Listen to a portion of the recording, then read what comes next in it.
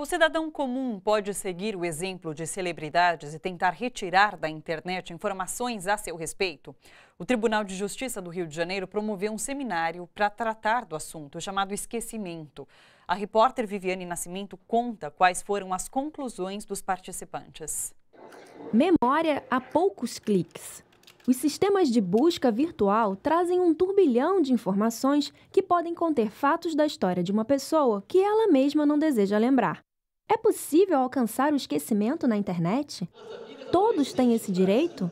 Um seminário no Tribunal de Justiça do Rio de Janeiro discutiu o tema. Um novo direito fundamental surgido em face da sociedade da informação, da velocidade das informações e da internet, que nos dá a possibilidade, por vezes, de fazer com que uma informação passada mas que não diga respeito ao interesse da coletividade, possa ser apagada ou então retirada daquele contexto que é ofensivo à dignidade da pessoa humana. Recurso comum no universo dos famosos, mas que ainda é uma incógnita para o cidadão comum. Não é apenas um tema das celebridades, das atrizes, dos atores e dos políticos. Seria um mecanismo que permitiria que qualquer pessoa poderia solicitar a remoção de uma informação. Em 2014 foi sancionado o Marco Civil da Internet, que determina os direitos do cidadão brasileiro no mundo digital.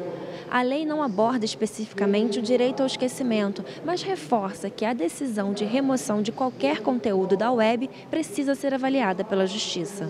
Ele fala que a pessoa, enfim, o usuário da internet, ele tem um direito ao término da relação com um determinado provedor de serviços na internet, dele solicitar que seus dados sejam apagados é, das bases de dados daquele provedor. Então, não é o direito ao esquecimento da forma como vem se discutindo, né, de você poder tirar da internet e tal, mas de pelo menos você apagar os seus dados daquela base de dados daquele determinado prestador de serviço. Um assunto que gera polêmica, pois envolve conceitos que podem ser divergentes, como liberdade de expressão, acesso à informação e privacidade, e que está longe de uma conclusão. Provavelmente vai ter uma discussão maior sobre direito ao esquecimento quando a gente tiver uma lei geral de proteção de dados no Brasil, que é algo que está em discussão no Congresso Nacional. Muitas vezes nós dizemos, eu não lembro mais de alguma coisa, mas basta uma simples pesquisa num site de busca que eu consigo achar aquela informação. Isso mostra o quanto dependente nós estamos das ferramentas de busca e o quanto esse, esse recurso oferecido por esses provedores acaba sendo fundamental para a forma pela qual nós nos lembramos do passado, nós acessamos a informação que nos é relevante no dia a dia e por isso é importante que o debate de direito ao esquecimento não seja um debate trivial, simplesmente que qualquer informação possa desaparecer por qualquer motivo.